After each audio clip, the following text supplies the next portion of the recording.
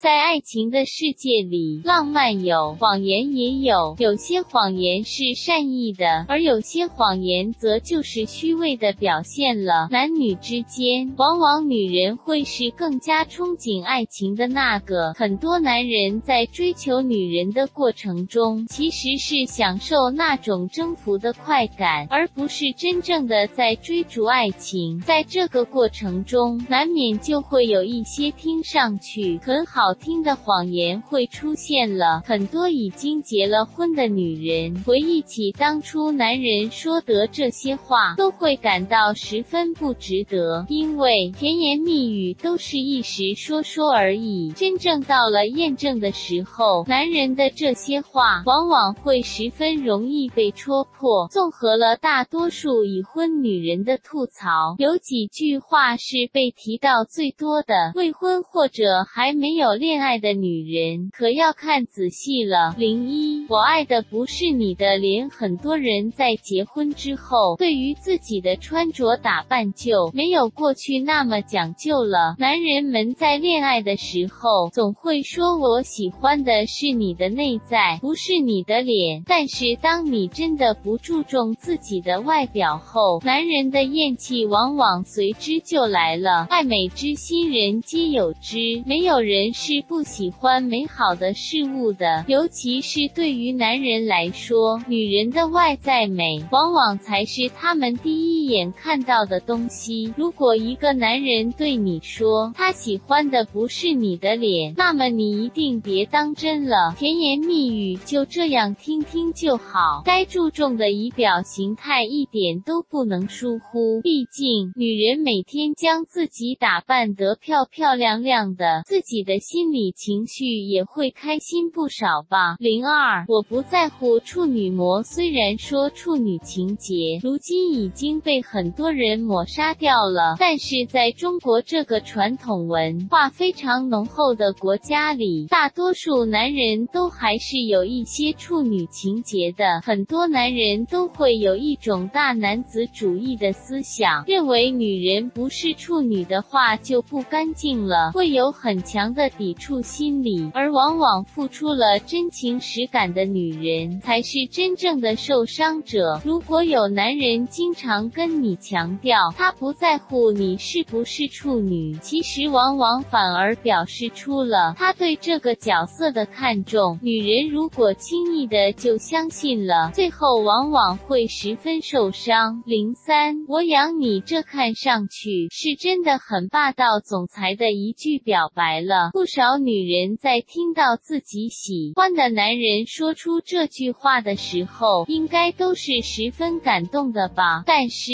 可千万别被这句话骗了。在感情的新鲜期内，男人说这句话可能还真的带着些真情实意。但是，生活都是枯燥而有压力的。当你们真正开始共同生活了，能做到当初这句承诺的男人，真的是很。少很少，并且现在女性社会地位提高了，我们完全没有必要依靠男人来养。如果每天待在家里等男人从外面工作回来，自己的生活都会变得浑浑噩噩，而没有任何一点理想抱负了。不管男人到底能不能做到“我养你”这句承诺，女人最好都别相信。零四，他只是我的好朋友。除了这个说法之外，还有一些男人会说：“我只是把她当妹妹。”这一系列的说法其实都是借口。如果你明显能感觉到男人和某个异性之间交往很不正常，而对方就用这种借口来搪塞你的话，千万不能随随便便就信了。打着亲情或者是友情的旗子和异性玩暧昧，是很多男人。都会犯的毛病，而很多个性比较单纯的女人就会相信这种借口，最后就会很受伤了。生活中红颜知己、蓝颜知己之类的存在，本身就是情侣之间比较敏感的话题。如果他们俩到底是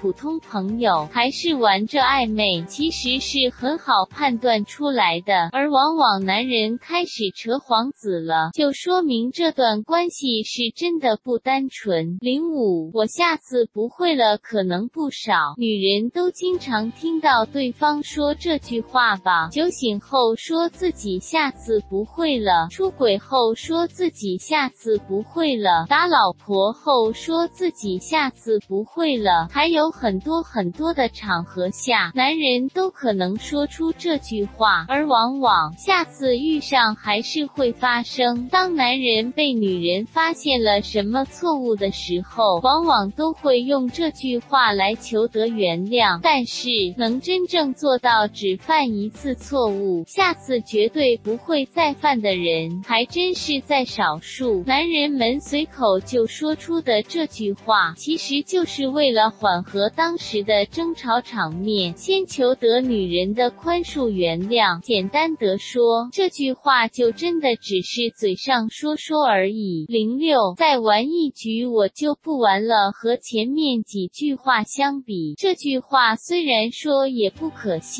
不过性质还不算过于恶劣。游戏基本上是每个男人都离不开的东西。游戏和女朋友之间的拉扯，想必大家平常生活中看到过不少吧？很多男人都会有一种英雄主义情节，而游戏能满足他们这种情节。平常工作之后的游戏时间，对男人们来说也是一个难得放松的时间。间此处已添加小说卡片，请到今日头条客户端查看。肯定是希望能多玩几次了。所以，如果在你男朋友打游戏的时候，听到他说再玩一局就来陪你，一定别太当真了。往往是在玩好几局再来陪你。喜欢本文的朋友可以帮忙点个赞、分享和转发一下。以上就是本期的所有内容，别忘了与好友分享乐活，乐活之心祝您快乐每一天。